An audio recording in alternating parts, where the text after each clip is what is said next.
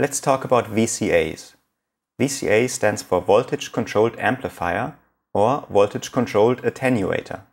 As we already know from earlier, an attenuator can only reduce a signal's strength, while an amplifier can also increase a signal's strength. Voltage controlled obviously means that you can control this amplification or attenuation with CV signals.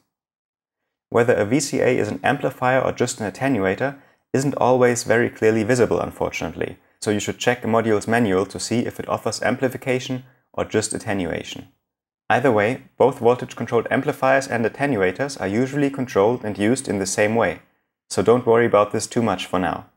A VCA will have a signal input socket, where the signal which you'd like to amplify goes into, a signal output socket where the processed signal comes out of, and a CV input, into which you will send control voltages to control the strength of the amplification. If you send a high CV to the CV input, the VCA opens up, which means it lets the incoming signal through, and if it receives zero or negative CV, it closes and blocks the incoming signal. Let's look at an example. If you connect the keyboard's gate signal to a VCA's CV input and an oscillator's audio output to the VCA's signal input, you will hear a sound when a key is pressed, because the gate goes high and opens the VCA. The higher the gate control voltage, the louder the sound will be from the VCA's signal output.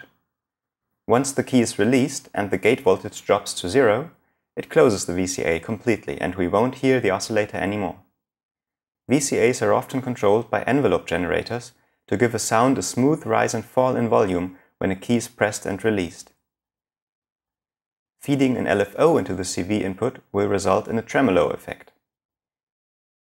Of course, you don't just have to process audio signals with a VCA, but you can also use it to amplify or attenuate CV signals as well.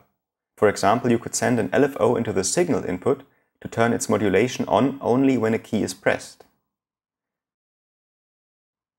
So to sum it all up, just remember, the higher the incoming CV, the stronger the outgoing signal. Now go ahead and experiment with VCAs and thanks a lot for watching. If you have any questions, go ahead and post them underneath this video in the comments section.